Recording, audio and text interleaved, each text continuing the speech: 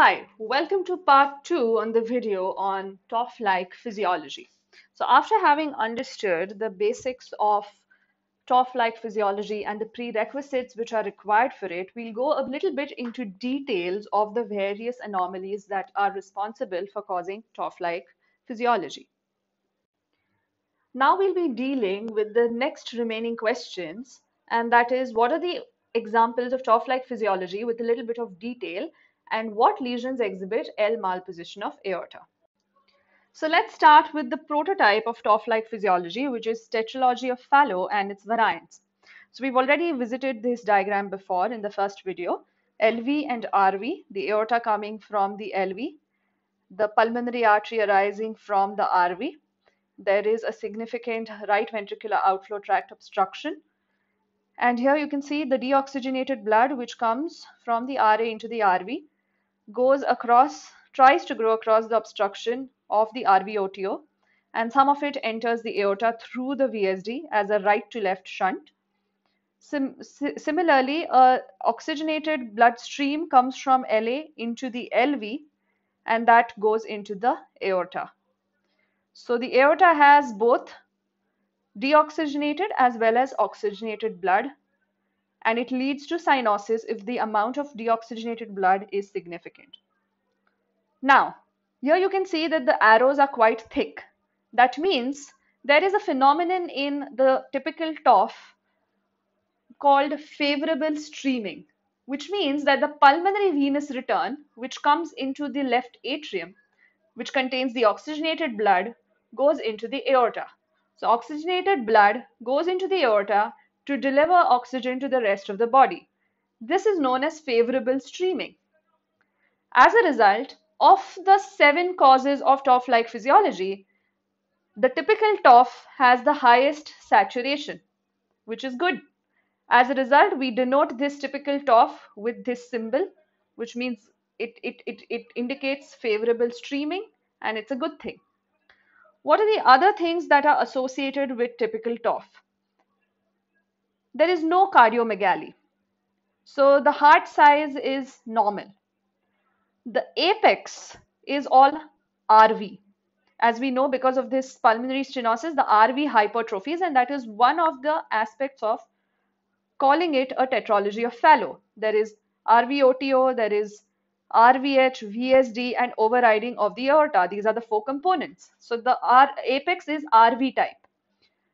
As a result, there is right ventricular hypertrophy on the ECG and there is right axis deviation up to 120 to 150 degrees.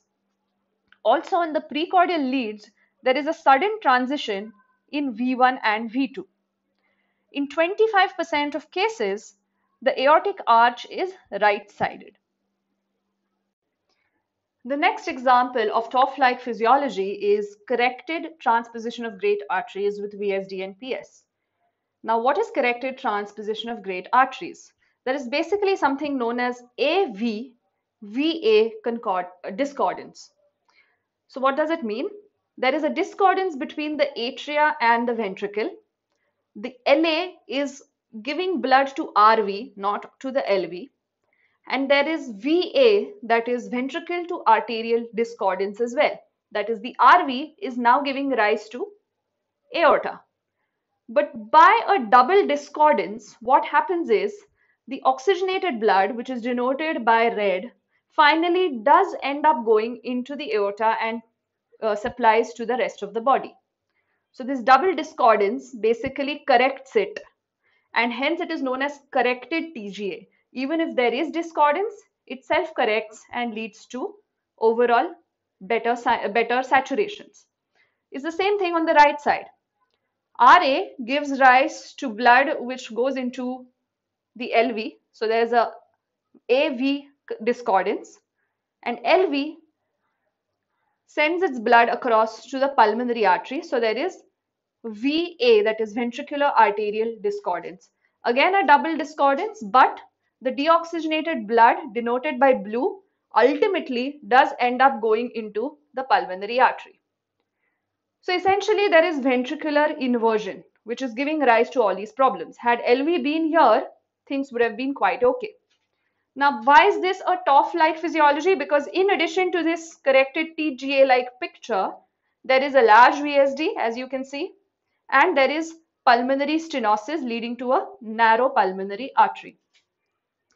So this is again denoted by a green colored face, which means there is again favorable streaming, which is again good news comparatively uh, with respect to the rest of the examples that we'll see. So oxygenated blood coming from the LA goes into the RV and it preferentially prefers going into the aorta. Some of it does go from left to right into the LV and it does enter the pulmonary artery also. But preferentially most of the oxygenated blood goes into the aorta. And most of the right-sided blood preferentially goes into the pulmonary artery. So there is favorable streaming. Again, just like typical TOF, this particular TOF-like physiology also has the highest saturation. One of the key points to detect corrected TGA with VSDPS is something known as palpable aortic pulsations and a palpable second heart sound in the third left intercostal space. And this is known as L malposition of aorta. Now, normally the aorta and the pulmonary artery cross each other. So the aorta goes like this and the pulmonary artery crosses it across like this.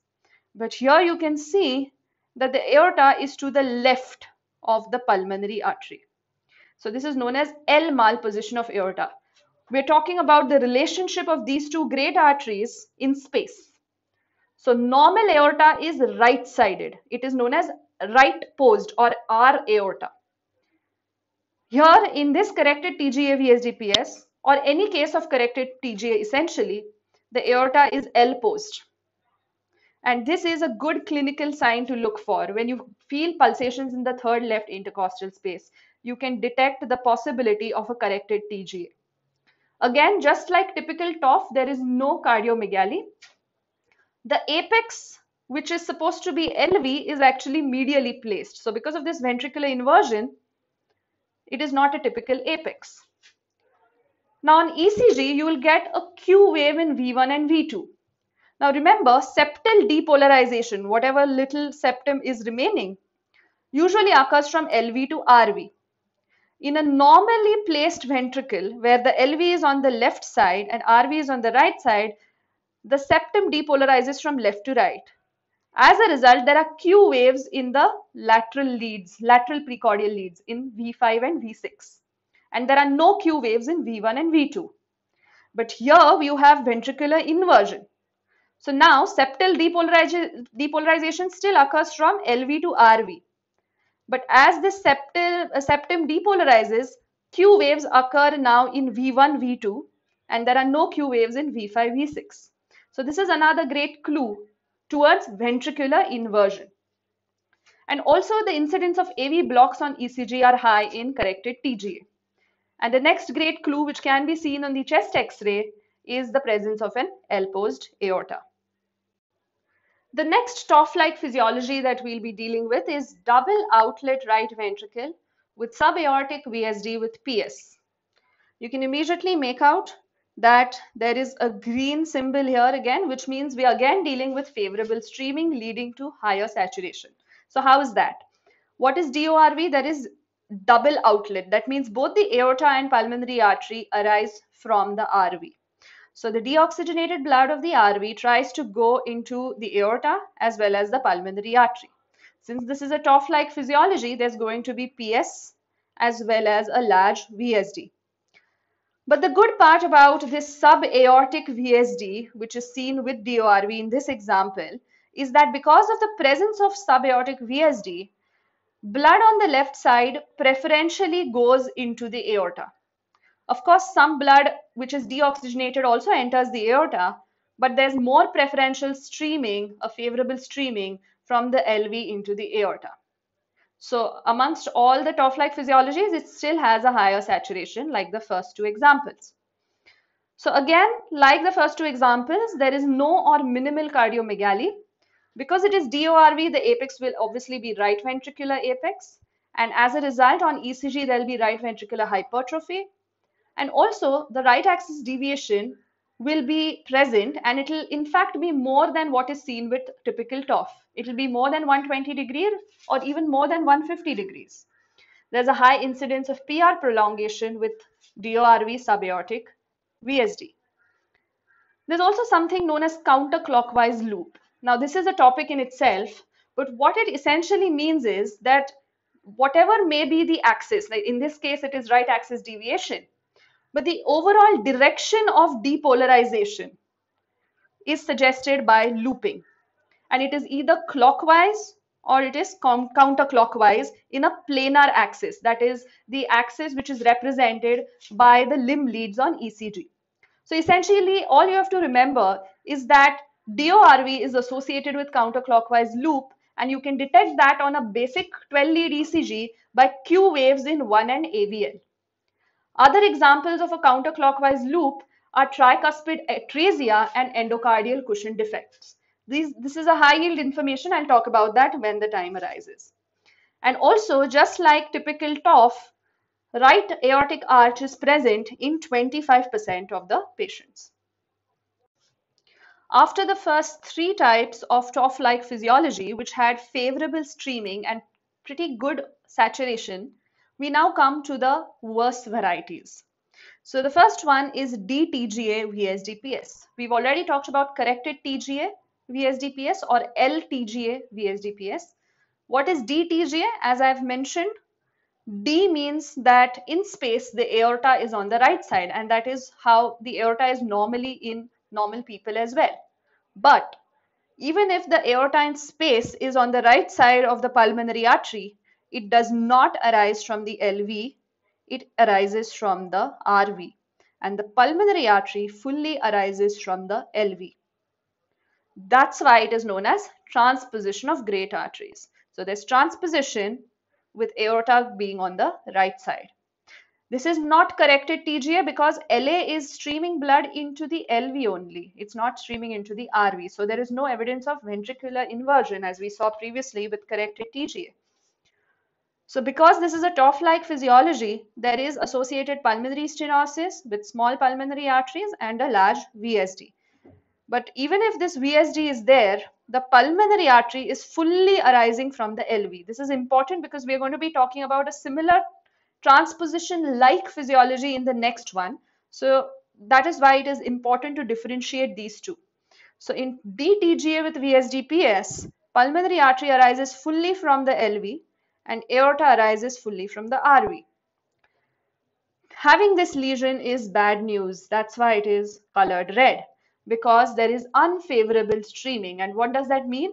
There is wastage of oxygenated blood in the pulmonary artery, which means that the oxygenated blood which comes in the LA from the pulmonary veins enters the LV, but it does not go to the aorta. Even if there's a VSD, it prefers going into the pulmonary artery.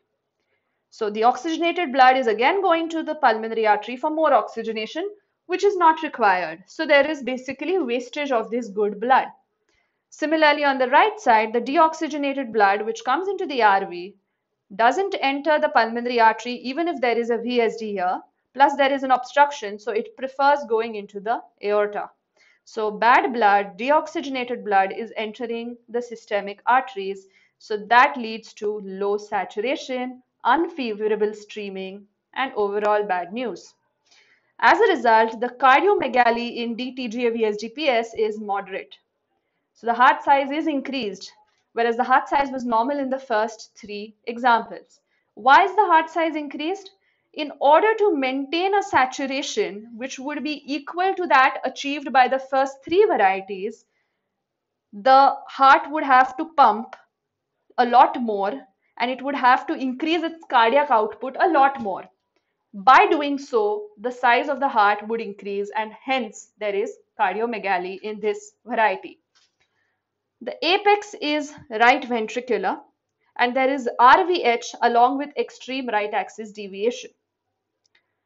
On the chest x-ray, you will see that the pedicle, that is the part of the x-ray where the great arteries are present is very narrow and the arch is right sided in 10%. So these are a few clues on x-ray to point towards the presence of a transposition of great arteries, D type. Coming to the fifth example of TOF-like physiology, we've already dealt with bad news with TGA VSDPS, and now we have another example of TOF-like physiology which leads to bad news. That is DORV, but this time it is subpulmonic VSD. Subaortic VSD did pretty well. It had favorable streaming, but subpulmonic VSD does not have favorable streaming. And this particular combination of DORV, subpulmonic VSD and PS is known as Taussig Bing. Essentially, this demonstrates, in addition to TOF-like physiology, but this particular anatomy demonstrates a TGA-like physiology. What does that mean? So here you can see that good oxygenated blood is coming from LA to LV and it is giving rise to blood which streams into either the pulmonary artery or into the aorta. Now, as opposed to TGA VSDPS, both the aorta and the pulmonary artery are arising from the RV. In TGA, pulmonary artery was fully coming out from the LV. So here, oxygenated blood is preferentially going again into the pulmonary artery, which was the same that was happening with TGA. So there was wastage of this oxygenated blood. And in the same way, on the right side, deoxygenated blood is preferentially going into the aorta, although some attempts to go into the pulmonary artery, but again, there's an obstruction. So essentially, there is deoxygenated blood going into the systemic arteries. So this is known as DORV, that is both the arteries coming from the right ventricle, having a, a VSD and a pulmonic stenosis known as Taussig-Bing anomaly. Just like TGA VSDPS, it demonstrates moderate cardiomegaly. The apex, because it is uh, DORV, is going to be right-sided. There will be RVH and there will be extreme right axis deviation. And on the X-ray, 10% will demonstrate right-sided aortic arch. Now we come to the last two lesions and they belong to the intermediate variety. What does that mean? This lesion is called single ventricle VSDPS. So essentially what it means is that there is no interventricular septum. So you just have one single ventricle. Usually it is of LV type. Hence the apex will also be LV apex. In some cases, this single ventricle demonstrates a morphology which is of RV morphology, but that is quite rare. Now this single ventricle, I have not shown the input of the RA and the LA into the single ventricle that is assumed. But essentially what happens is this is like a bag in which there is mixing of both the deoxygenated as well as oxygenated blood which is coming from RA and LA respectively. So there is mixing. Hence this belongs to a kind of physiology known as admixture physiology. So there is admixture of pulmonary that is coming from the LA and systemic venous return which is coming from the RA. So admixture physiology is denoted by the color orange. That means it is neither too good nor is it too bad. It's not as good as TOF and these first three types, nor is it as bad as the TGA variety of TOF-like TOF-like physiology. So because of this mixing, what happens next is there is something known as the outlet chamber which arises from the single ventricle and this outlet chamber gives rise to the aorta. Now, since this is a TOF-like physiology, there will be a pulmonary stenosis. So, this pulmonary stenosis will give rise to small pulmonary arteries. So, essentially mixed blood or admixed blood goes either through the pulmonary artery or through the aorta. Because of obstruction in the pulmonary artery, there may be preferential more blood into the aorta. But overall, the saturation will be intermediate of the two types that we have seen. So the cardiomegaly will be mild. It will not be absent cardiomegaly. The apex is usually LV. As I said, single ventricle has an LV apex. Sometimes it will be an RV apex. One of the clues on ECG to the presence of single ventricle is monotonous QRS in the precordial leads and that makes sense. There is no interventricular septum. So essentially this is wrong. You, I can't even call it VSD. It's just single ventricle PS because there is no interventricular septum at all. So this is wrong. So what it means is there is just one chamber and that's that gives there is no transition from the LV to the RV or RV to the LV or anything like that. So the QRS which arises from this muscle is going to be similar in all the leads that is V1 to V6. So any monotonous QRS which all look equal to each other, there's no transition, give, should suspect you to the evidence of the presence of single ventricle.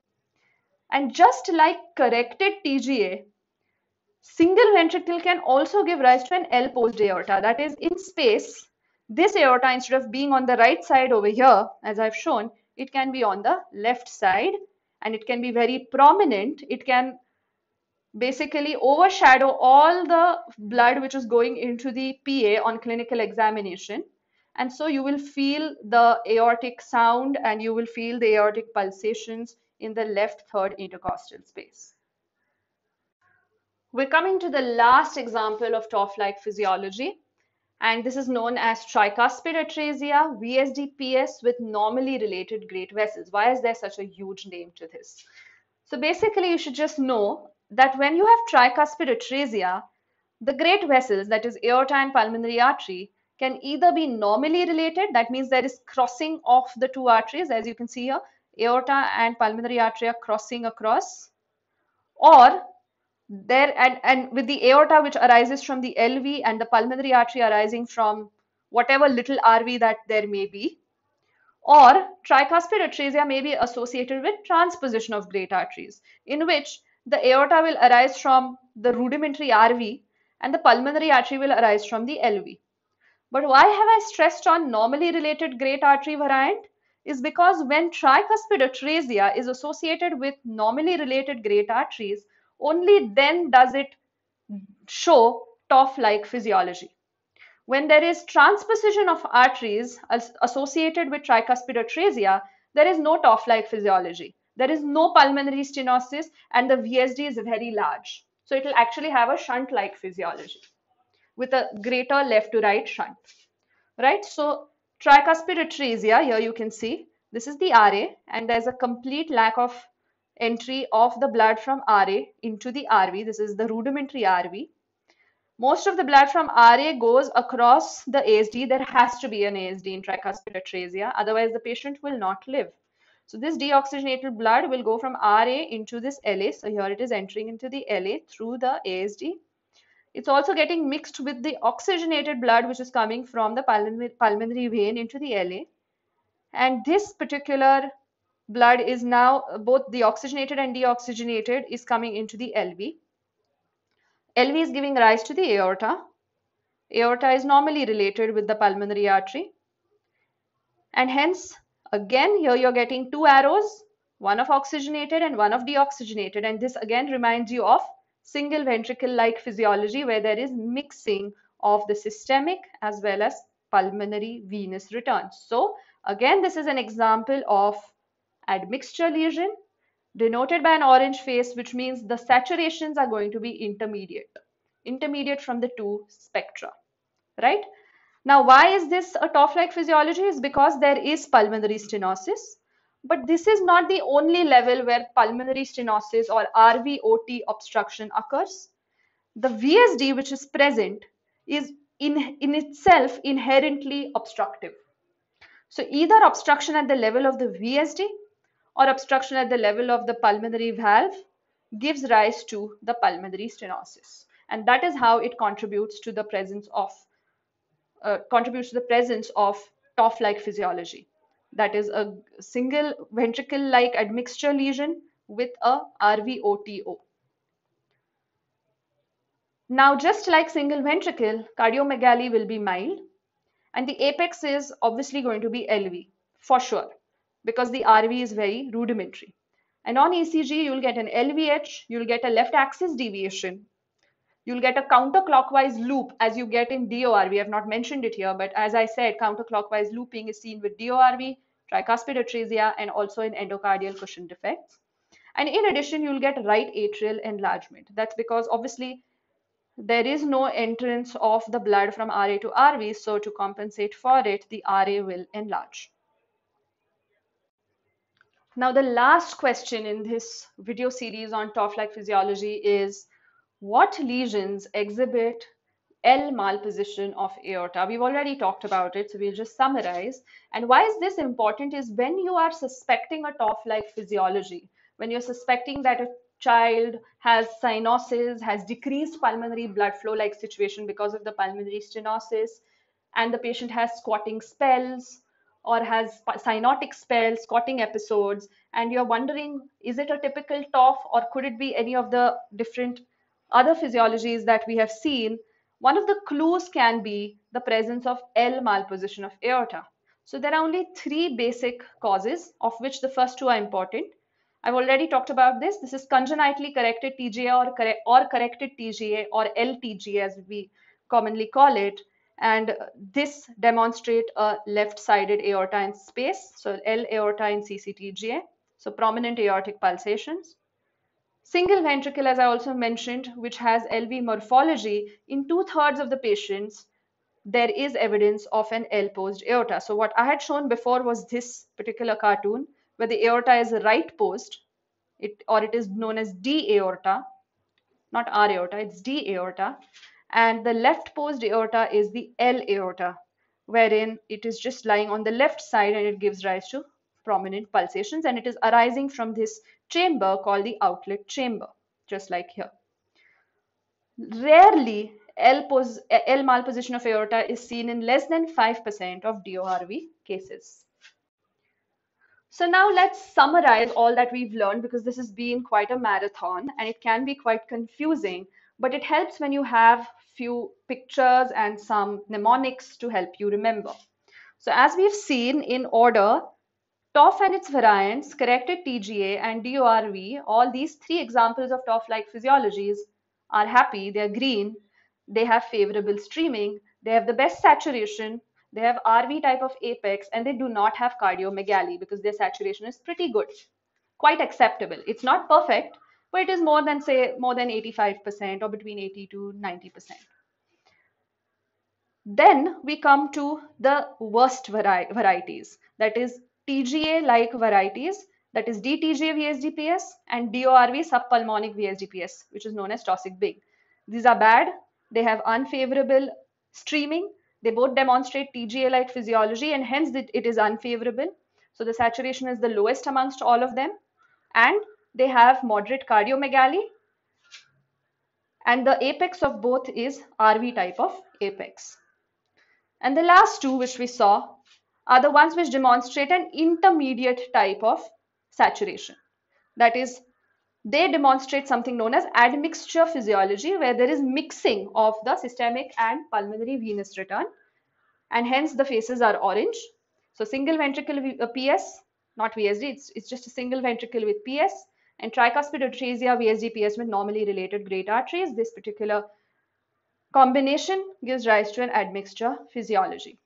I have put L at the forehead of both these phases, like, like a loser, L for loser, but it's actually not L for loser. It just says L for LV type of apex.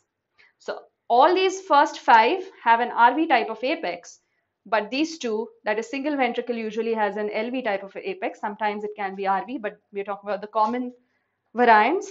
And tricuspid atresia obviously is going to have an LV type of apex, and that's useful on ECG when you're trying to, or even clinical examination when you're trying to see which type of TOF-like physiology it may be.